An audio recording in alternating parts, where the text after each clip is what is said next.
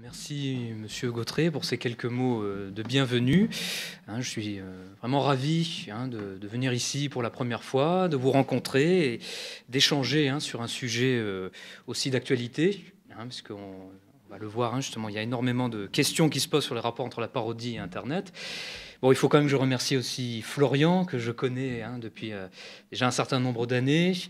Hein, ancien camarade hein, euh, de doctorat à Aix-Marseille, euh, ami surtout, hein, le remercier pour euh, cet événement qu'il a organisé. et je suis vraiment ravi de faire ce premier travail en, commun avec lui. J'espère qu'il y en aura d'autres, qu'on pourra publier, se retrouver encore à d'autres occasions sur des sujets relatifs à la propriété intellectuelle.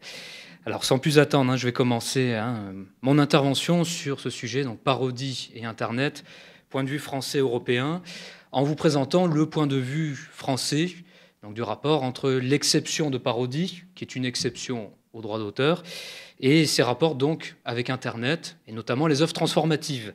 Parce que là-dessus, en discutant avec Florian, on s'est rendu compte que la loi française et la loi canadienne étaient assez différentes, que sur certains points, la loi française avait déjà anticipé un certain nombre de choses, et pas d'autres, et inversement, justement, euh, de la loi canadienne, hein, notamment pour le statut des œuvres transformatives. Ah, donc ça va être le thème de notre intervention. Alors pourquoi parler de parodie et Internet hein, Parce qu'on le sait, sur Internet, un certain nombre d'œuvres, un très grand nombre même, sont souvent parodiées, détournées, modifiées par les utilisateurs. Hein. C'est ce qu'on appelle les contenus non commerciaux générés par les utilisateurs. Alors souvent dans un but humoristique, mais pas toujours. Alors c'est là que face à cette recrudescence, hein, les juristes français sont déjà posé la question, est-ce qu'il y a une exception qui permettrait de couvrir ces usages? On a cherché la réponse dans l'exception de parodie. Alors cette exception de parodie, elle existe euh, depuis un certain nombre d'années dans le droit français. Elle a d'abord été dégagée par la jurisprudence dès le XIXe siècle. Hein, à l'époque, la loi euh, était extrêmement courte, la loi sur le droit d'auteur, et c'est les juges hein, qui, l'interprétant, ont découvert un certain nombre de choses. Une grande partie du droit d'auteur français et d'origine jurisprudentielle. Cette exception donc, a été dégagée par les juges et a finalement été consacrée par le législateur dans la grande loi sur le droit d'auteur du 11 mars 1957. Donc il existe un texte hein, maintenant qui définit cette exception au droit d'auteur, qui en fixe les limites. On nous dit que sont autorisés la parodie, le pastiche, la caricature d'une œuvre de l'esprit dans le respect des lois du genre. C'est exactement hein, ce que dit le Code de la propriété intellectuelle pour définir cette exception. Alors on arrive tout de suite hein, à avoir une idée de ce que peut être une parodie, un pastiche, une caricature. Maintenant, dans le respect des lois du genre, là, le législateur a été un peu frileux, il n'a pas vraiment voulu aller plus loin, et là encore, c'est au juge de nous dire ce que sont ces fameuses lois du genre. Alors bien sûr, hein, je vais vous les présenter, mais déjà on va remarquer une chose, ces lois du genre, ont un lien très étroit avec la liberté d'expression. Hein, parce qu'en vérité, si on a créé cette exception de parodie, c'était en fait pour garantir la liberté d'expression. Liberté d'expression satirique, humoristique, le droit de faire de l'humour en reprenant des œuvres de l'esprit, en les détournant dans un but humoristique. Donc il y a un lien très important avec la liberté d'expression, pas toujours assumé, pas toujours assumé, hein, et officiellement les lois du genre hein, s'apprécient de façon interne au droit d'auteur, mais de plus en plus, on va le voir, hein, la liberté d'expression commence à prendre le dessus sur les lois du genre et à être appréciée d'une façon autonome. Alors les lois du genre, quelles sont-elles? Il y en a trois, sont les juges français. La caricature, la parodie, pour être valable, doit opérer une certaine transformation vis-à-vis de l'œuvre préexistante, vis-à-vis de l'œuvre parodiée. Donc la première loi du genre est l'absence de confusion entre l'œuvre première et l'œuvre L'absence de confusion dans l'esprit du public. Autrement dit, l'œuvre parodiée doit subir une certaine transformation suffisante pour qu'on ne puisse pas confondre la parodie et l'œuvre originale, que le public ne puisse pas les confondre. Alors une certaine transformation, historiquement, les juges l'ont appréciée assez strictement, et c'est toujours le cas. Il faut que l'œuvre soit quand même assez modifiée dans son intégrité, alors modifié par exemple dans ses couleurs, s'il s'agit d'une œuvre graphique, modifié dans les noms, s'il s'agit d'une œuvre écrite, par exemple, si on parodie un roman, modifié dans les paroles, s'il s'agit d'une chanson. Hein, c'est encore un autre exemple. Donc il faut vraiment un travail de transformation de l'intégrité de l'œuvre. Hein, c'est très important, j'y reviendrai par la suite, parce qu'avec les œuvres transformatives, il, manque parfois ce critère de transformation. Donc absence de confusion, qui garantit donc hein, cette première loi du genre, et garantit aussi l'absence de parasitisme. Là aussi, on relève un relatif paradoxe. Euh, à travers ces lois du genre de la parodie, on s'intéresse aussi à la concurrence déloyale, même si pourtant il s'agirait d'un fondement distinct. Pourquoi on exige cette transformation? Pour éviter que celui qui parodie tire profit de la notoriété de la première œuvre et parasite le public de la première œuvre. Donc ça a pu se produire, je cite un exemple hein, d'une vieille jurisprudence dans les années 60, avec hein, le travestissement d'une chanson qui était très célèbre à l'époque. Donc évidemment, le, parolier, pardon, celui qui a fait la parodie, avait repris la mélodie, hein, il avait repris la mélodie de la première œuvre, et il avait modifié les paroles. Mais modifié les paroles en conservant toutes les rimes. Les rimes étaient identiques, entre guillemets, il modifiait à chaque fois le début des phrases. Pour les juges, cette transformation n'était pas suffisante, parce qu'un public non averti qui entendrait la parodie à la radio pourrait croire qu'il s'agissait de l'œuvre première. Il reconnaît la mélodie, il reconnaît les rimes, la transformation n'était pas suffisante, et du fait de cette absence de transformation, le parodiste, celui qui faisait la parodie, profitait de la notoriété de l'œuvre première. Donc voilà déjà une des premières lois du genre, hein, appréciée apprécié strictement. Donc une transformation importante, bon, même s'il faut quand même reconnaître l'œuvre première, hein, c'est là qu'il y a une certaine limite à trouver. Deuxième loi du genre, la parodie ne doit pas confiner à un dénigrement, un dénigrement de l'auteur de la première œuvre. Autrement dit, quand on parodie, on peut se moquer de l'œuvre première, on peut faire de l'humour avec, on peut parfois rendre un hommage humoristique à l'auteur de l'œuvre première, ça a pu être admis, mais il ne faut pas s'en servir pour le dénigrer, pour le diffamer ou pour l'injurier. Là, justement, il y aurait une transgression hein, de l'exception de parodie. Transgression, alors, euh, qui a pu être appréciée assez diversement. Et c'est là encore hein, que la proximité avec la liberté d'expression brouille un peu les pistes. Donc, comme j'ai dit, hein, un hommage humoristique a pu passer. Une critique trop sévère trop sévère de l'auteur de la première œuvre a pu être condamné. Alors on en a eu des exemples avec euh, une critique qui était particulièrement excessive, une parodie qui avait été réalisée hein, par ce pseudo-humoriste français qui est Dieudonné, donc qui, euh, sous couvert d'humour, en vérité, hein, répand des discours ouvertement discriminatoires, racistes, xénophobes et souvent antisémites. Bon, Dieudonné, qui, il y a quelques années, avait parodié une chanson de Barbara, Hein, de la chanteuse Barbara, en lui donnant une connotation ouvertement antisémite, et dirigée contre Barbara elle-même, hein, en faisant valoir ses origines juives. Évidemment, Dieudonné a été condamné, parce que sous couvert d'humour noir, il diffamait, il insultait, il insultait Barbara et la mémoire de Barbara. Donc là, évidemment, hein, le dénigrement était assez facile à sanctionner. il y a d'autres cas où c'est parfois plus compliqué. Alors un autre exemple qu'on a pu rencontrer avec euh, des œuvres de Hergé, Tintin notamment, Tintin qui se prête à de très nombreuses parodies, souvent des parodies qui accentuent l'humour noir, le détournement, évidemment, hein, du personnage de Tintin. Donc on a eu, hein, par exemple, cet épisode de Tintin nu, hein, donc des parodies de Tintin où il apparaissait nu dans toutes les vignettes, de Tintin euh, drogué, alcoolique, etc., de Tintin obsédé sexuel. Certaines de ces parodies ont quand même été sanctionnées sanctionnée euh, au motif qu'elle ne respectait pas cette deuxième loi du genre, que le caractère trop vulgaire, trop vulgaire de la parodie confinait à un dénigrement de l'œuvre originale et de l'auteur de l'œuvre originale. Alors déjà là, hein, ces décisions ont pu être assez critiquées parce que euh, on sait qu'il existe un humour noir, que dans certains cas il a pu être toléré, que c'est même la Cour européenne des droits de l'homme qui l'a affirmé, que parfois l'humour peut choquer, l'exagération peut choquer, mais elle reste couverte par la liberté d'expression. Donc dans certains cas, des auteurs et surtout des ayants droit, c'est le cas pour les ayants droit d'Hergé, ont pu faire sanctionner des parodies en invoquant cette deuxième loi du genre et le non-respect de cette deuxième loi du genre. Troisième loi du genre à caractériser, il faut qu'il y ait une intention humoristique. Alors ça paraît évident, mais les problèmes sont de plus en plus nombreux à ce niveau. Alors intention humoristique, il faut que la parodie fasse rire, qu'elle fasse rire, qu'il n'y ait aucun doute sur la volonté Hein, de l'auteur de la parodie, hein, il faut qu'il y ait une intention satirique évidente. Ça paraît hein, facile à résumer comme cela, mais Qu'en est-il lorsque la satire est associée à un message d'une autre nature? Par exemple, un message politique, un message de contestation.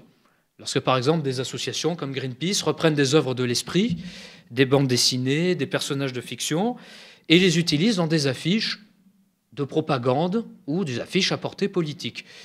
Est-ce que l'intention humoristique est toujours vérifiée? Est-ce que l'intention humoristique peut être associée à une autre finalité? Est-ce qu'elle peut être qu'un moyen et non une fin? Hein, Là, les discussions sont extrêmement nombreuses, parce que pendant un temps, les juges affirmaient que l'intention humoristique devait être l'humour pour l'humour. Il faut faire rire pour faire rire. Pourtant, un mouvement commence à gagner la jurisprudence, on commence à admettre que non, l'intention humoristique peut n'être qu'un prétexte, qu'un moyen pour être associé à un autre message. Donc parfois des juges ont pu considérer que cette loi du genre était vérifiée, même en présence d'une parodie à portée politique. Portée politique, donc associée à un message d'une autre nature. Là encore, là encore hein, c'est un critère hein, qui va être très important avec les œuvres transformatives. On l'a dit, hein, certaines œuvres transformatives ont pour but de faire rire, d'autres font rire pour soutenir un autre message ou pour dénoncer, etc. Alors, dénoncer parfois une pensée de l'auteur, ben, ça peut être le cas avec Hergé, hein, euh, Hergé à travers Tintin, parce qu'on a voulu, à travers des parodies, dénoncer les idées de Hergé, quand on sait que dans les années 30, il appartenait à un parti d'extrême droite, hein, ouvertement collaborateur avec l'Allemagne nazie. Hein, parfois, certaines parodies ont voulu dénoncer les opinions de Hergé. Parfois, il peut s'agir de dénoncer d'autres pratiques, d'autres opinions, d'autres contestations. Donc on le verra hein, justement, euh, limite avec les œuvres transformatives à ce niveau. Malgré tout, ces trois lois du genre ont bien fonctionné pendant des années. Elles commencent à se laisser gagner par un mouvement plus général qui consiste à opposer tout simplement le droit d'auteur à la liberté d'expression et faire une mise en balance, une mise en balance hein, de ces deux droits fondamentaux. Hein, alors souvent au travers des critères qui sont dégagés par la Convention européenne des droits de l'homme, est-ce qu'il y a un texte qui autorise à limiter l'un ou l'autre? Est-ce qu'il y a une proportionnalité dans l'atteinte qui est portée à l'un des deux droits? Et est-ce qu'il y a un but légitime dans l'atteinte, atteinte au droit d'auteur ou à la liberté d'expression? Cela change quelque peu les règles du jeu, malgré tout, dans la façon dont on apprécie la parodie. Et le droit français va certainement devoir évoluer, notamment sous le coup du droit européen. Alors je dis cela parce que récemment, on a eu une jurisprudence euh, très importante, un arrêt de la Cour de justice de l'Union européenne, qui est le premier arrêt à s'être intéressé à l'exception de parodie, et qui en donne une vision relativement différente de celle du droit français. Alors on le verra, qui pourra peut-être servir aussi les œuvres transformatives. Malgré tout, un arrêt euh, dont la portée peut s'avérer quelque peu dangereuse, dangereuse même pour la liberté d'expression. Quels étaient les faits?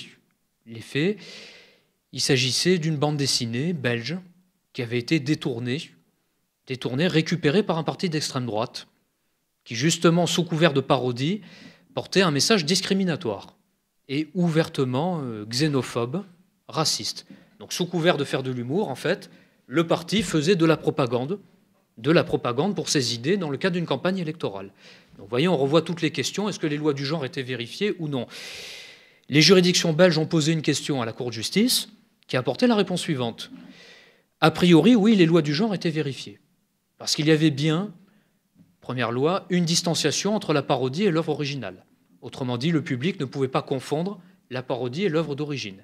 Et quand on voit hein, les, deux, les œuvres, effectivement, il n'y a aucune chance de les confondre. Donc, première loi vérifiée. Deuxième loi, y avait-il un dénigrement, un dénigrement de l'auteur de l'œuvre d'origine? Non. Non, là encore, selon la Cour. Donc, la deuxième loi était vérifiée, puisque hein, la parodie avait un message discriminatoire, mais qui ne visait pas l'œuvre d'origine et qui ne visait pas son auteur. Y avait-il une intention humoristique? Oui, aussi. Donc les trois lois étaient vérifiées, même si la Cour convient que tout le monde ne sera pas forcément amateur de ce genre d'humour, humour noir avec une portée raciste. Mais surprise, la Cour ajoute une quatrième condition, une quatrième loi du genre, qu'elle fonde sur la liberté d'expression et la mise en balance entre la liberté d'expression et le droit de l'auteur.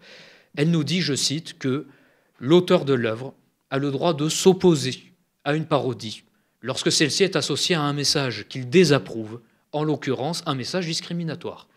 et qu'il y va, je cite, des intérêts légitimes de l'auteur de s'opposer potentiellement à ce type de parodie. Donc il va revenir maintenant aux juridictions belges hein, d'examiner ce nouveau critère qu'on ne connaissait pas, qui est en fait une simple mise en balance hein, du droit d'auteur avec son exception, avec la liberté d'expression. Mais finalement dans un sens plus favorable à l'auteur, puisqu'on va donner le droit à l'auteur peut-être d'agréer, d'agréer les parodies en fonction du message auquel elles sont associées. Donc c'est peut-être justement revenir à une conception plus restrictive qui ferait primer indirectement le droit moral de l'auteur. Droit moral, droit au respect, droit au respect de l'intégrité de l'œuvre, droit au respect de l'esprit de l'œuvre également. Alors, cet arrêt, hein, cette solution paraît légitime dans cette affaire, au vu de la nature du message qui était en cause. Elle ne le sera peut-être pas toujours. Peut-être pas toujours. Hein. Il se peut qu'un jour les auteurs invoquent leurs intérêts légitimes, c'est ça que la Cour a évoqué, leurs intérêts légitimes pour s'opposer à des parodies, parce qu'à un moment, elles visent un autre but que celui de faire rire. Justement, un but politique, un message auquel elles n'adhèrent pas. Donc c'est là hein, que la portée de cet arrêt peut s'avérer quelque peu dangereuse et pourrait venir brider un petit peu la liberté d'expression. Donc voilà comment évolue hein, l'exception de parodie en droit français. Hein. On le voit, un sentier bien balisé à l'origine que les juges tentaient plus ou moins de maintenir dans un sens restrictif, qui évolue évidemment avec les œuvres transformatives. La Cour de justice nous rajoute cet élément dont on ne sait pas trop qu'en faire. Qu'en est-il maintenant vis-à-vis des œuvres transformatives? On y vient. Donc les œuvres transformatives, les contenus qui sont générés par les utilisateurs, peuvent-ils être couverts par l'exception de parodie La réponse est plutôt non. Plutôt non selon les juristes français, si on se fie aux critères, aux critères du droit français, aux fameuses lois du genre. Déjà pour une raison, la plupart hein, des œuvres transformatives, enfin la plupart, certaines en particulier, hein, n'ont pas ce caractère de transformation qui est exigé pourtant au titre de la première loi du genre. Hein, je pense notamment à cette fameuse parodie hein, que tout le monde connaît, la parodie du film La Chute, qui relate hein, les derniers jours de la vie d'Adolf Hitler. parodie qui consiste à présenter l'œuvre dans sa version originale en allemand, avec la voix d'Adolf Hitler assez hargneuse, on l'a déjà vu, et le caractère humoristique vient des sous-titrages qui lui sont associés. Donc c'est comme ça que Hitler se trouve associé à l'actualité l'actualité, la campagne électorale américaine par exemple, ou parfois des actualités politiques françaises, hein, le trait d'humour vient du sous-titrage. Si on suit la loi du genre telle que les juges français l'appliquent, il y manque le critère de transformation. Pourquoi? Parce que le film est bien présenté dans sa version originale, avec un remontage parfois assez relatif. Un public germanophone regardera hein, ces vidéos et il estimera voir l'œuvre dans sa version d'origine. Donc il manque le critère de transformation pour ces cas-là. Pour d'autres œuvres transformatives, il peut manquer l'intention humoristique. On l'a dit, certaines œuvres transformatives parodient, parodie, donc là on aura l'intention humoristique, ce n'est pas toujours le cas. Pas toujours le cas. Parfois on reprend une musique, une musique hein, comme euh, la chanson Happy de Pharrell Williams, qu'on associe à une autre vidéo. Bon, une vidéo qui parfois n'a rien d'humoristique. Donc encore, l'exception de parodie pourrait ne pas convenir, ne pas être appliquée à ces œuvres transformatives. Alors c'est là que l'arrêt de la Cour de justice a peut-être apporté une solution, notamment pour la première, première loi du genre. Hein, donc dans l'arrêt dont je vous parlais, qui concernait cette bande dessinée détournée par un parti d'extrême droite, la Cour a affirmé qu'il suffit de constater une simple distanciation entre la parodie et l'œuvre première, et non pas une transformation comme l'exigent les juges français jusqu'à présent. Donc la simple distanciation pourrait venir d'un changement de contexte ou du moins d'un changement mineur, l'ajout de sous-titrage. Donc c'est peut-être là qu'il y aurait une solution qui se profile à travers cet arrêt de la Cour de justice. Malgré tout, il faudrait vérifier les autres lois du genre. Et si l'absence de dénigrement sera facile à vérifier, j'ai dit l'intention humoristique, là encore, manque souvent, manque souvent dans certaines œuvres transformatives. Alors, que faire pour les œuvres transformatives? C'est là qu'on va peut-être s'inspirer euh, du droit canadien, et je ne vais pas tarder à passer la parole à Florian qui va nous en parler les juristes français, euh, le gouvernement ont cherché, hein, recherché des solutions, l'Union européenne aussi, pour donner un statut à ces œuvres transformatives.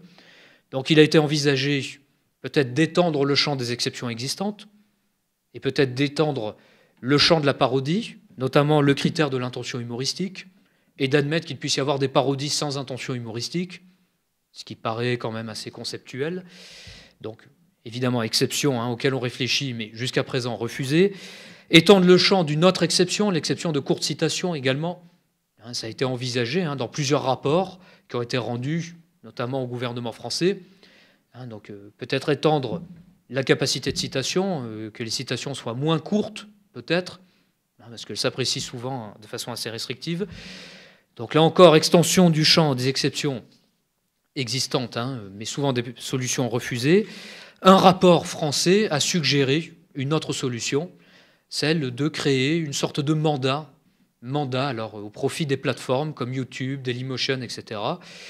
Mandat euh, selon lequel un certain nombre d'œuvres du répertoire des sociétés de gestion collective seraient mises à la disposition des utilisateurs qui pourraient alors modifier les œuvres, modifier les œuvres assez librement, créer des œuvres transformatives euh, mandat qui suppose quand même une rémunération.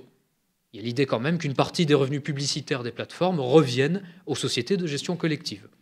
Donc une solution encore hein, proposée à l'étude, mais actuellement il n'y en a pas. La dernière solution à laquelle on a pensé, bien sûr, c'est créer une nouvelle exception, une exception ad hoc, hein, qui serait dédiée aux œuvres transformatives, en s'inspirant évidemment du droit canadien, donc là, hein, c'est souvent l'exemple qui revient. Hein. le droit canadien l'a fait hein, en 2012. Il y a une exception pour les œuvres transformatives, pour les contenus non commerciaux générés par les utilisateurs. Bon, alors, on en parle beaucoup. La doctrine, souvent, euh, l'évoque. Il n'est pas encore question, il n'est pas encore question de l'inscrire dans le code de la propriété intellectuelle français, en dépit de nombreuses réformes qui sont en cours. Alors évidemment, dans les débats, ça a été évoqué. On attend de voir la suite, ça va peut-être surgir. Maintenant, je suis intéressé de savoir, hein, euh, le, savoir justement la, portée de cette exception, comment le droit euh, canadien justement l'a prévu et qu'est-ce qu'on pourra en tirer. Donc c'est pour ça qu'on est là, qu'on va en discuter.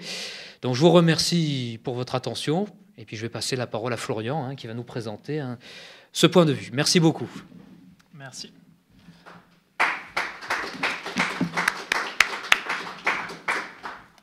Donc, euh, parodie Internet d'un point de vue québécois, canadien. Euh, comme le disait Philippe, puis on, on va le dire tout de suite, c'est très récent euh, la question de la parodie en droit d'auteur canadien.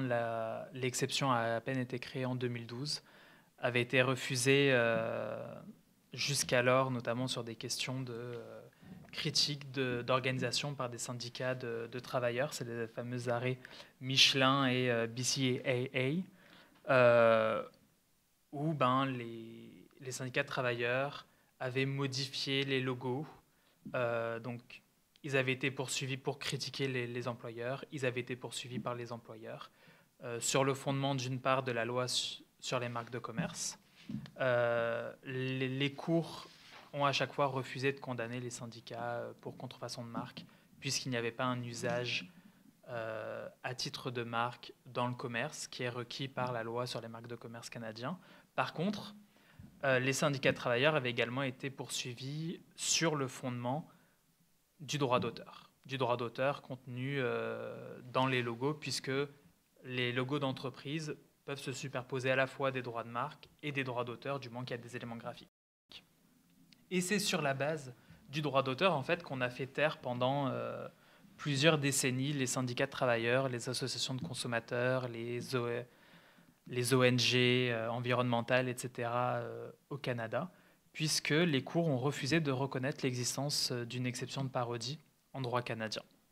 L'ancien article 29 de la loi sur le droit d'auteur prévoyait un certain nombre d'exceptions, dont celui de critique. certains auteurs ont essayé de défendre le fait que ben, quand vous modifiez un logo, c'était une sorte de critique euh, de l'œuvre. Ça a été refusé par les cours en disant que non, c'était plus dans le sens de la critique littéraire, de la critique cinématographique que devait s'entendre cette exception. Et donc, euh, on condamnait à chaque fois les syndicats, les, différentes organisations euh, pour contrefaçon de droits d'auteur.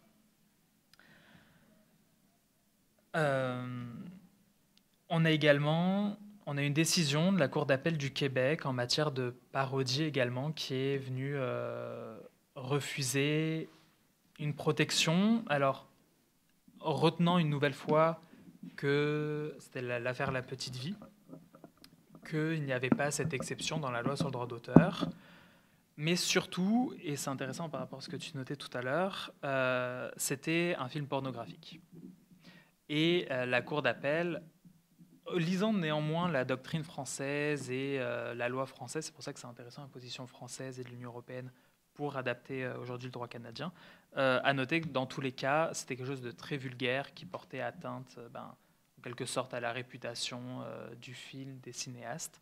Et ben, a refusé de, créer une quelconque euh, exception.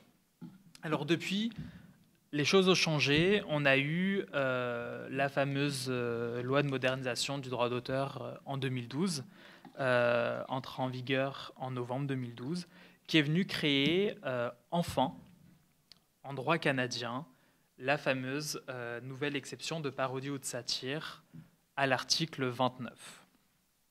Comme tu le disais également, euh, la loi sur le droit d'auteur avait besoin d'être modifiée depuis un certain nombre d'années. On n'a pas fait les choses à moitié.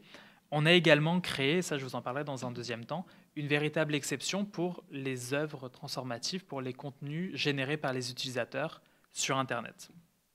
Et c'est un sujet qui est d'actualité bon, en toute campagne électorale. On en a vu euh, l'année dernière lors des élections fédérales canadiennes.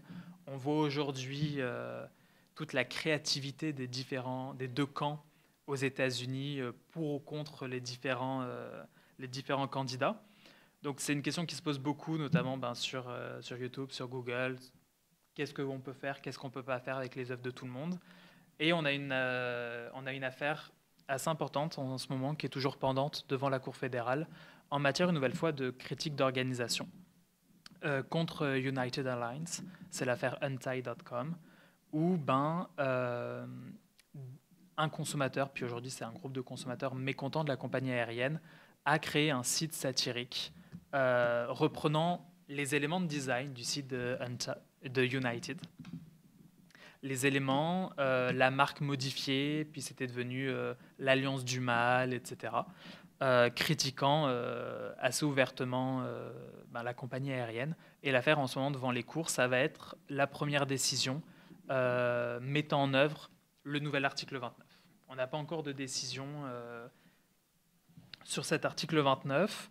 On n'a pas d'autres critères dans la loi. La loi nous dit simplement que l'utilisation équitable d'une œuvre ou de tout autre objet du droit d'auteur aux fins d'études privées, de recherche, d'éducation, de parodie ou de satire, c'est la nouvelle partie, ne constitue pas une violation du droit d'auteur. Que comprendre pour euh, ben, cette nouvelle exception canadienne? Euh, Comment doit-on la comprendre? On peut remonter à 2004. À 2004, la Cour suprême du Canada a rendu un arrêt majeur en droit d'auteur, l'arrêt CCH contre Barreau du Haut-Canada. Ça n'avait pas beaucoup à voir avec Internet, c'était euh, la bibliothèque euh, du Barreau du Haut-Canada qui faisait un service de photocopie et de fax pour ses membres des différents articles de doctrine. Et euh, ben, CCH, qui, était, qui aujourd'hui fait partie de LexisNexis, mais qui était l'un des grands éditeurs canadiens, a attaqué en justice pour contrefaçon et euh, atteinte à leurs droits de reproduction et de communication publique le barreau du Haut-Canada. Ils n'ont pas eu, ils ont eu tort. La Cour suprême a, a retenu la défense d'utilisation équitable du barreau du Haut-Canada et dans le même temps nous a défini un test en six étapes pour l'article 29. Ce test en six étapes pour l'article 29 nous dit qu'il faut faire une approche euh, contextuelle de tous les éléments de fait. Donc sur six points, le but de l'utilisation. Donc le but d'utilisation, et c'est la juge en chef, euh, qui est toujours d'ailleurs la juge en chef actuelle, qui avait rendu euh, cette décision. Donc le but de l'utilisation, il faut savoir si l'utilisation que vous faites est l'une des utilisations protégées par la loi. À savoir, ben, donc on reprend l'article, c'est l'étude privée, la recherche, l'éducation et aujourd'hui la parodie et la satire. Il faut également regarder quelle est la nature de l'utilisation. Euh, si vous faites une copie ou 15 000 photocopies, si c'est de nature commerciale ou non commerciale, sachant que la nature commerciale d'une utilisation équitable n'empêche pas la qualification et la protection par l'article 29. Euh, on va regarder aussi pour la nature de l'utilisation, savoir si elle est équitable, quelles sont les habitudes du secteur. Et notamment, la Cour prenez l'exemple euh, des notes d'études pour les, critiques et les commentaires littéraires, où il est habituel de euh, prendre de très larges extraits des contenus, ou par exemple les, les critiques de tableaux, d'œuvres d'art, il est habituel de reprendre l'intégralité de l'œuvre, puisque pour critiquer l'œuvre, vous n'allez pas en prendre juste un petit extrait. Le troisième critère, c'était l'ampleur de l'utilisation. Nouvelle fois, c'est encore sur ben, est-ce que l'on prend trois pages? Est-ce qu'on prend l'œuvre entière? C'est le type de critère que euh, on va devoir euh, prendre en compte, sachant que dans certains cas, encore une fois, la Cour suprême nous dit que on peut avoir une utilisation équitable même en reprenant 100% de l'œuvre. Ça va dépendre un peu. Alors, la Cour suprême n'utilise pas du tout cette expression, mais c'est un peu ce que euh, les cours françaises et euh, la Cour de justice de l'Union appellent ces lois du genre. Euh, qu'est-ce qu'il est habituel de tolérer? Quelles sont les, pratiques normales du milieu? Quatrième critère, on a les solutions de rechange à l'utilisation. Et c'est un des critères, pas les plus importants, mais, mais presque, c'est de savoir est-ce que on pouvait faire autre chose? Est-ce qu'on pouvait arriver au même résultat sans porter atteinte euh, aux, droits économiques de l'auteur Dans certains cas, oui, et c'est un point qui va pouvoir être intéressant en matière de parodie. Dans d'autres, dans l'affaire la, CCH, ben, non, si vous avez besoin du, commentaire de, euh, par exemple, euh, Vincent Gautret sur la décision d'elle, et ben, il n'y a pas non plus 15 000 auteurs qui ont écrit sur ça. Si vous avez besoin d'avoir ces commentaires, ben, la seule moyen de l'avoir, c'est de récupérer le commentaire et donc l'article dans son intégralité. Dans ce cas-là, vous n'avez pas de solution de rechange. Cinquième euh, critère, c'est la nature de l'œuvre. C'est un critère assez particulier qui ne va pas nécessairement être utilisé pour tous les cas d'utilisation équitable. Et là, euh, la Cour d'ailleurs nous précise que ce n'est vraiment pas un facteur décisif. Et on va regarder euh, notamment si l'œuvre est publiée. Par exemple, si euh, une œuvre est déjà publiée ou même peu diffusée, la Cour nous dit que c'est presque à l'avantage de l'auteur euh, d'être utilisée de manière équitable parce que ça va permettre une dissémination de ses écrits, de ses publications. Par contre, c'est vrai que si l'œuvre était confidentielle, c'était quelque chose qui n'était pas encore vraiment rendu public ou vraiment sous certaines conditions. On avait voulu faire euh, une diffusion très euh, à minima de l'œuvre, du document. On va avoir tendance à estimer que ben, c'était une utilisation non équitable, parce que ça allait au contraire à la volonté initiale de l'auteur de diffuser.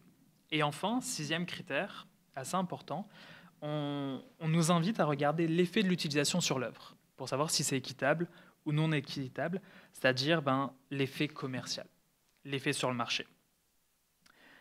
Et ce que nous dit la Cour, c'est ben, que la concurrence, en fait ce qu'il faut regarder, c'est la concurrence que la reproduction est susceptible d'exercer sur le marché de l'œuvre originale, qui pourra laisser croire que l'utilisation n'est pas équitable.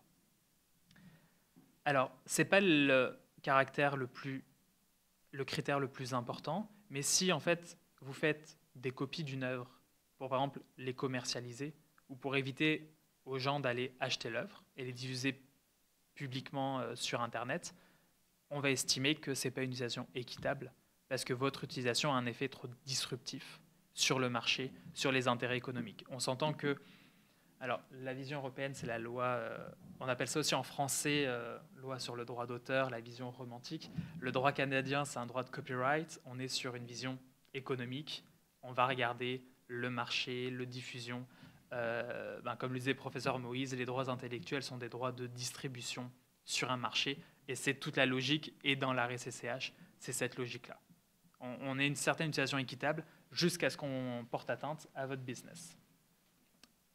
Alors, ces critères-là ne nous disent rien sur la parodie. La Cour suprême ne l'a même pas abordé au détour d'une phrase. Ça n'avait rien à voir avec l'affaire. Et c'était un point qui était pas dans la loi. Et le législateur, en 2012, au lieu de créer, comme on aurait pu faire pour, euh, en France, créer véritablement une exception de parodie très générale, a fait le choix de l'inscrire dans les cas d'utilisation équitable.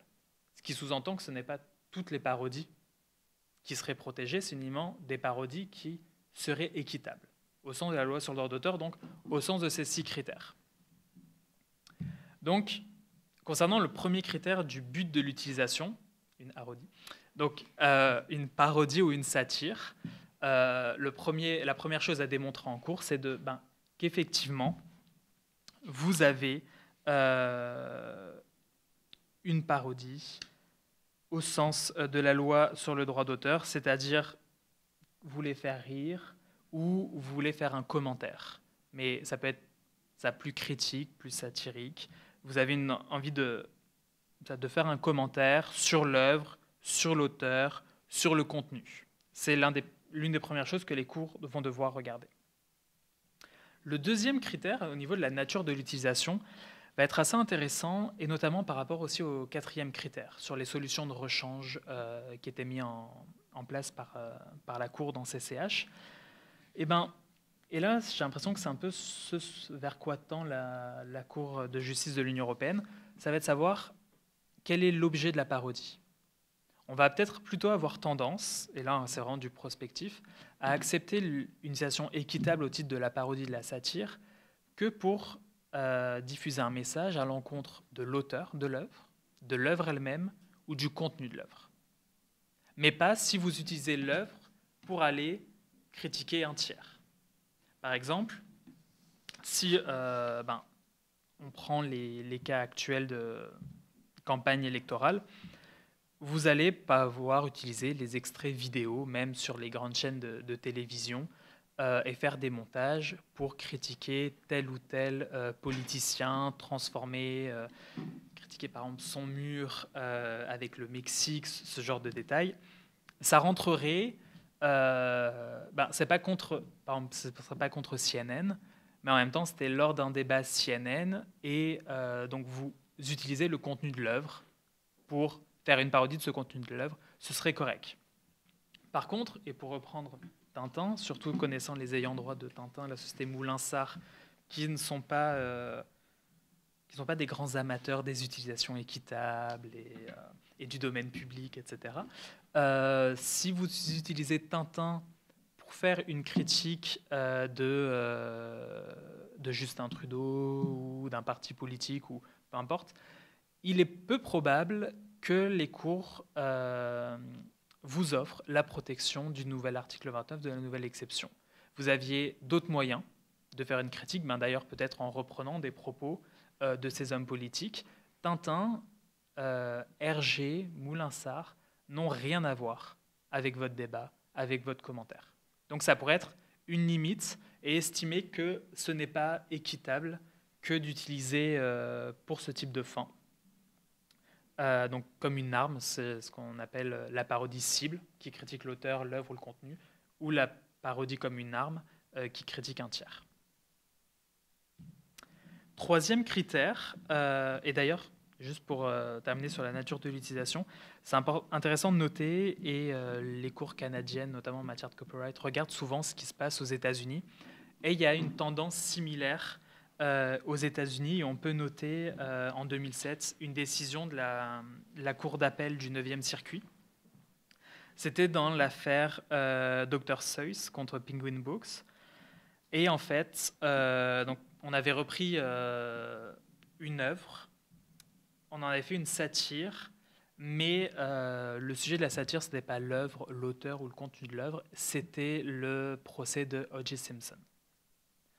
Et euh, ce qui est tout à fait le, cas d'exemple de parodie comme une arme pour un tiers, pour un commentaire euh, totalement euh, différent. Et la Cour d'appel du 9e circuit a refusé la protection au titre de la liberté d'expression et de l'exception de parodie à ces auteurs. Ce qui est assez intéressant, sachant que les cours américaines sont habituellement beaucoup plus ouvertes à la liberté d'expression. D'ailleurs, même s'il n'y a aucune exception de parodie inscrite dans la loi sur le droit d'auteur, dans le Copyright Act américain, on a ouvert depuis très longtemps en droit américain l'exception de parodie, notamment pour protéger euh, la liberté d'expression. Sur le troisième critère, sur l'ampleur de l'utilisation, euh, bah là, ça va être, on ne va pas regarder nécessairement la quantité d'informations, genre la longueur de l'ouvrage ou du film ou de l'extrait vidéo, on va regarder les éléments qu'on a pris. Donc, il faut que vous preniez les éléments clés. évidemment d'une œuvre. Pour la critiquer, c'est essentiel. Il ne faut pas non plus que vous repreniez tous les éléments. Pourquoi? Le critère, ça va être comme en droit français, en droit de l'Union européenne, ça va être la confusion. Si vous avez, si le public, s'il y a une confusion du public sur, un peu comme en marque, sur l'origine euh, du produit, si on peut croire que ben, telle vidéo, euh, telle, euh, telle BD de Tintin vient vraiment de l'auteur habituel, vous n'allez pas bénéficier de la parodie, on ne va pas estimer que c'est une utilisation équitable. Donc vous allez devoir démontrer que vous avez fait un certain nombre de modifications euh, suffisamment importantes pour que, ben, au premier regard, le public euh, et pas non plus les spécialistes euh, du genre, des œuvres d'art, etc., ben, que le public puisse savoir que non. Ça, c'est sûr que c'est pas Tintin, là, c'est une parodie de Tintin où c'était pas le vrai discours. Bon, même si certains discours sont tellement bizarres que en eux-mêmes ce sont des parodies mais ce serait une autre question. Donc, ampleur de l'utilisation, euh, et c'est l'idée encore d'avoir une véritable œuvre transformative pour sortir de la, de la contrefaçon. Évidemment, on ne va pas vous demander d'avoir une œuvre totalement différente, sinon on fait perdre son effet et son intérêt à l'exception, puisque si vous avez une œuvre qui est totalement différente avec juste une vague évocation, il est certain que ce n'est plus protégé par le droit d'auteur. Donc perte d'intérêt. Sur le quatrième critère, la solution de rechange, ce n'est pas un critère qui est très pertinent, parce que, sauf pour distinguer une nouvelle fois entre la parodie cible et la parodie comme une arme. Si vous voulez critiquer l'auteur, l'œuvre ou le contenu de l'œuvre, vous devez nécessairement, enfin ça, ça fait du sens, de prendre quelque chose de cet auteur, cette œuvre ou le contenu de l'œuvre. Après, si vous voulez critiquer un tiers, il y a d'autres moyens. Allez prendre ce que ce tiers a a produit pour le retourner contre lui. Cinquième critère, la nature de l'œuvre, c'est quelque chose qui n'est pas nécessairement pertinent, euh, sauf à partir sur ce qui est confidentiel, pas confidentiel, mais généralement, si vous voulez en faire une parodie, on va utiliser des documents qui sont très connus du public pour que tout de suite le public puisse associer euh, la parodie euh, à ce que l'on veut commenter. Cinquième critère, et c'est et l'un des, avec l'absence de, confusion, c'est l'un des éléments importants, c'est l'effet de l'utilisation sur l'œuvre. Vous allez pouvoir avoir une utilisation commerciale de votre parodie. Par exemple, une chanson parodique, votre euh, vidéo parodique, vous pourriez la monnayer, mettre de la publicité, etc. sur votre site internet.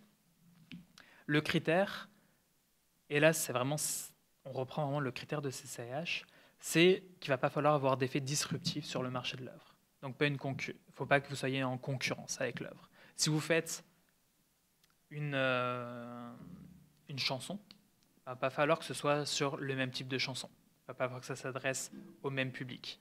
Si le public habituel va commencer à acheter votre produit à la place du produit initial, du produit parodié, là vous allez vous risquez d'avoir un problème et vous allez sortir du champ de l'utilisation euh, équitable au titre d'une parodie.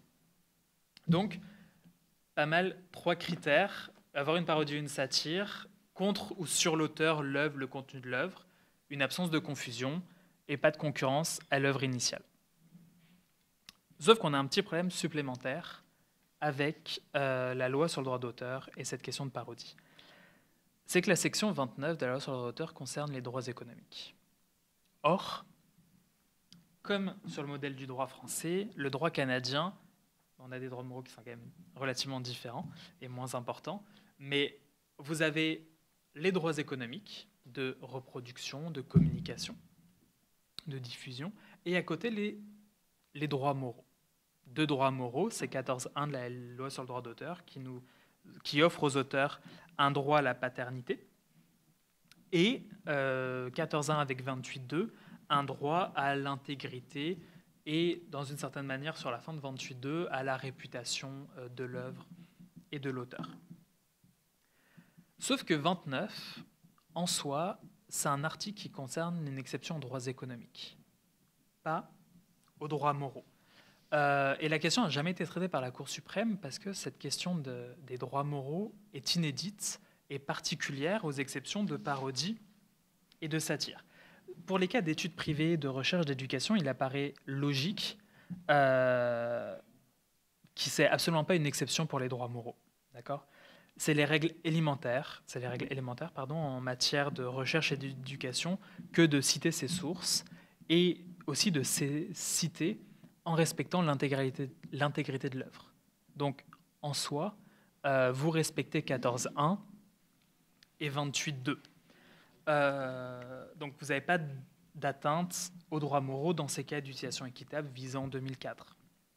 Pareil, on a deux autres articles dans les exceptions, 29.1 et 29.2 de la loi sur le droit d'auteur, qui viennent préciser des critères complémentaires pour les euh, utilisations équitables à titre de euh, compte rendu et compte rendu critique, et également l'exception pour la communication nouvelle, donc pour les chaînes d'information, pour les journaux, pour euh, les web TV, etc.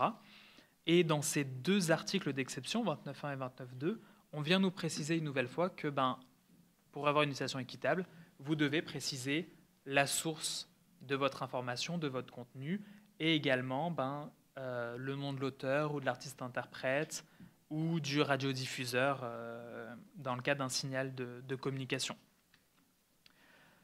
À l'inverse, ben, pour la parodie, on a un problème au niveau de la paternité de l'intégrité. Par définition, euh, vous devez modifier de manière importante votre œuvre pour bénéficier de l'article 29. Sinon, on va estimer qu'il y a une confusion du public et que votre utilisation n'est pas équitable. Mais si vous modifiez de manière importante, vous portez atteinte à 28.2. De même, vous ne pouvez pas conserver la mention euh, de l'auteur initial. Par exemple, sur un tableau, si vous conservez la signature, euh, sur une vidéo, si vous signez la vidéo comme quoi c'est euh, une vidéo réalisée par tel cinéaste avec tels acteurs, ben là, par rapport au, à aux critères d'absence de confusion, ça va vous poser un problème parce que vous cherchez plus que juste parodier l'œuvre, on va pouvoir arguer en cours que vous cherchez à vous rattacher à tout prix aux auteurs initiales. Donc, on va vous demander, pour bénéficier de 29, de supprimer sur un tableau la signature. Par exemple, vous parodiez un Picasso, reprend pas la signature de Picasso. Or, enlever la signature de Picasso, c'est une atteinte d'une part à l'intégrité, mais aussi à la paternité de l'œuvre. Alors, c'est là qu'on a un problème parce que la lettre de l'article 29 vous demande de contredire à la lettre euh, de 14.1 et de 28.2.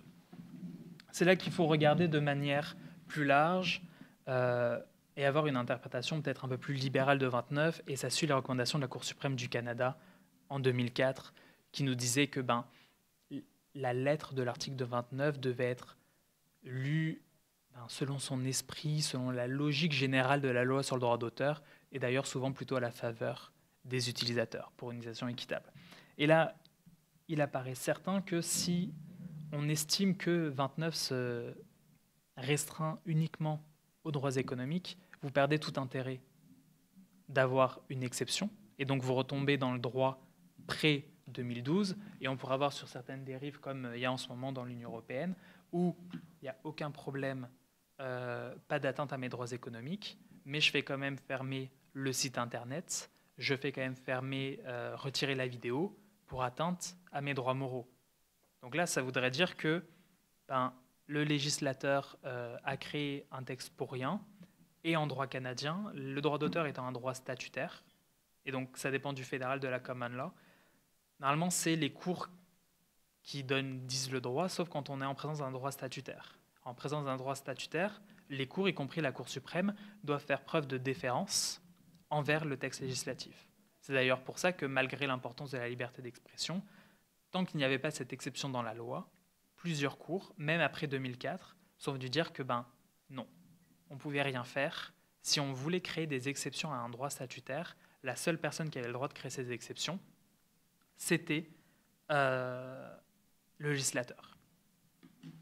Donc aujourd'hui, on, on peut faire des parodies, des satires avec les critères que je vous expliquais tout à l'heure les quatre critères. Mais, comme disait Philippe, toutes les œuvres transformatives et tout ce qu'on trouve sur Internet ne se qualifient pas nécessairement euh, au titre de la parodie. Bah, tout à l'heure, tu parlais de courtes citations et qu'il faudrait peut-être changer. Alors, l'avantage déjà sur le droit canadien, c'est qu'on n'a pas d'exception de courtes citations.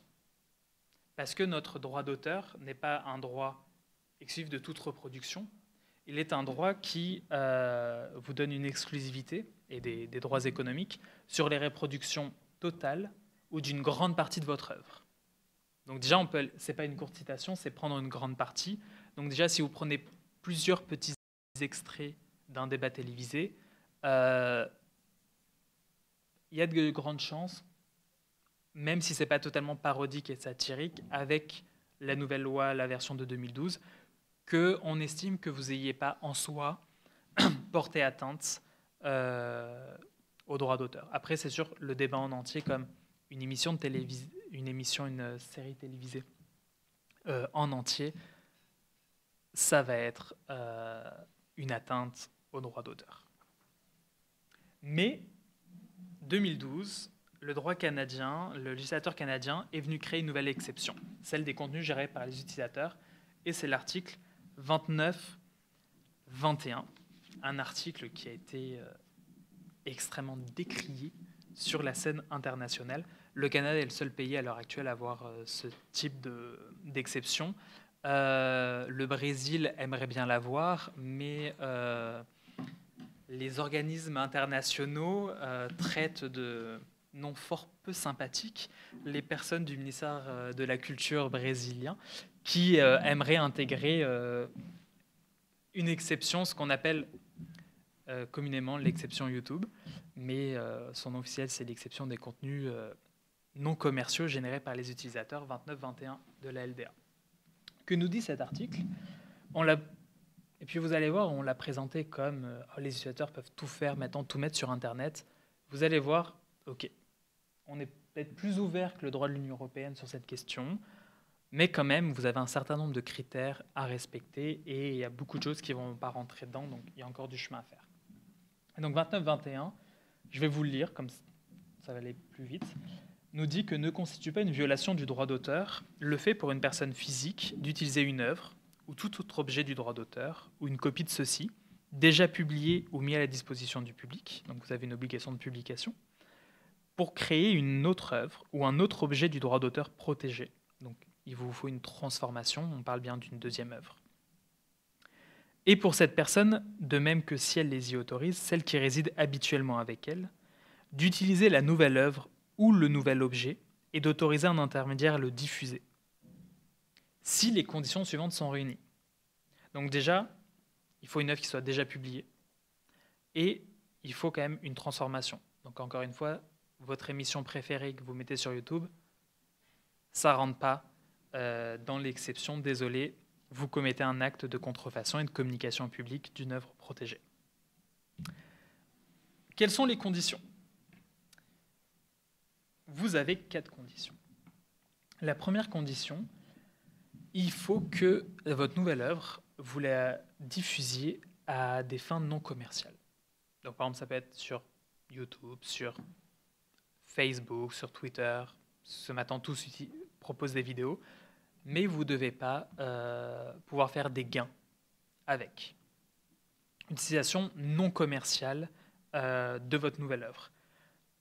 C'est intéressant de noter, ben, sur Internet, beaucoup de choses sont non commerciales, mais il faut quand même savoir que euh, les gros utilisateurs de YouTube, ceux qui produisent beaucoup de vidéos et qui font du trafic, se voient récompensés par YouTube et se voient reverser un certain pourcentage des revenus publicitaires générés par Google sur leurs pages, les pages de leurs vidéos. Et sur les petites vidéos que vous avez, par exemple, avant la vidéo ou pendant la vidéo. C'est intéressant, la question se pose, euh, ben, peut-être que tous ces utilisateurs, ça devient comme, ça devient une business de faire ces vidéos, et ben ils perdent la protection de 29-21. Donc là, on parle quand même, c'est tous les plus gros, euh, ce qu'on appelle les YouTubers, les très gros diffuseurs euh, qui font souvent ça juste pour le plaisir et qu'au final, ça fait une entrée d'argent. Petit b, vous devez préciser la source de l'œuvre, si cela est possible. Donc ça va dépendre comment vous diffusez, mais par exemple sur YouTube, ça va être euh, dans la zone de présentation. Il faut que vous euh, donc, indiquiez la source de l'œuvre ou de l'autre objet ou de la copie de ceci. Si et seulement dans les cas où euh, vous avez facilement accès à l'information, ben, quel est l'auteur de l'œuvre? Quel est l'artiste-interprète, quel est le producteur, quel est le radiodiffuseur, enfin tous les crédits habituels que l'on doit reprendre quand on paye pour diffuser quelque chose, même si là vous ne payez pas, vous devez indiquer les crédits des différentes œuvres que vous utilisez dans votre contenu généré. Troisième critère, vous devez utiliser que des œuvres légales, dont vous avez une copie légale. C'est-à-dire que votre contenu généré, si euh, vous utilisez votre émission préférée contrefaite, ça, vous n'êtes plus protégé par 29-21. Autre particularité, et c'est là que, au final, 29-21, il n'y a pas encore de décision sur ça, puis est-ce que ça sert vraiment à quelque chose? C'est les fameuses mesures de technique de protection, les MTP. Vos DVD, qui sont la plupart protégés avec des technologies pour empêcher leur copie. Euh, votre flux de votre télé numérique, etc. Euh, ou ben, votre prestataire met des mesures techniques de protection. Vous n'êtes pas censé pouvoir euh, accéder au flux, mais on a toujours des petits logiciels fort sympathiques que certains utilisent. Pas moi, évidemment. Ben, si vous récupérez la vidéo par ses fins, vous contournez une mesure technique de protection selon la loi sur le droit d'auteur vous euh, faites un acte de contrefaçon. Donc, vous ne pouvez plus bénéficier de 29-21 parce qu'il y avait une mesure technique de protection. Et petit d, enfin, il faut que l'utilisation de la nouvelle œuvre ou du nouvel objet ou l'autorisation de le diffuser n'ait aucun effet négatif important, pécuniaire ou autre, sur l'exploitation actuelle ou éventuelle de l'œuvre ou autre objet ou de la copie de ceci ayant servi à la création, ou surtout marché actuel ou éventuel à son égard, notamment parce que l'œuvre ou l'objet nouvellement créé ne peut s'y substituer. Là, alors, c'est un peu, vous rappelez, le dernier euh, critère de CCH sur l'effet transformatif sur le marché. Mais, donc, vous devez avoir un contenu que vous diffusez de manière non commerciale, à but souvent donc non lucratif. Et même si c'est non commercial, il ne faut pas que c'est un effet négatif important, pécuniaire ou autre, sur l'exploitation. Donc, faut pas qu'il y ait des gens qui se disent Ah, tiens, tu sais, je préfère aller voir la version parodique ou pas parodique, mais genre le montage par les fans. Puis sur certaines, sur certaines émissions, on sait qu'il y a euh, pas mal d'utilisateurs qui aiment bien, qui font des montages ou qui vont résumer l'histoire de tel épisode, si jamais tu veux faire un wrap-up, parce que tu es en fin de session ces derniers temps, puis tu n'as pas eu le temps de voir tes émissions, puis ce soir, là, tu veux voir en famille tes émissions. Euh, ben, techniquement, si ça évite aux gens d'aller voir l'œuvre originale et de payer pour l'œuvre originale, tu perds, encore une fois, 29-21. Donc, c'est vrai que c'est un bel article, mais euh, le Canada a été décrié, euh, c'était presque un acte de terrorisme contre les pauvres auteurs. On a toujours quand même l'image de l'auteur de Victor Hugo euh, et des, vieux auteurs français en train de presque mourir, en train d'écrire leurs ouvrages. C'est toujours comme ça qu'on pense les lois sur le droit d'auteur. Et donc voilà, 29-21, c'est pas vraiment je peux faire ce que je veux avec les œuvres de tout le monde, du moment que je veux pas faire d'argent avec, je les mets sur Internet, c'est terminé. Vous voyez que c'est quand même extrêmement restrictif. C'est des œuvres transformatives qui sont faites par des utilisateurs qui sont de véritables fans euh, ou pour faire des commentaires politiques, etc.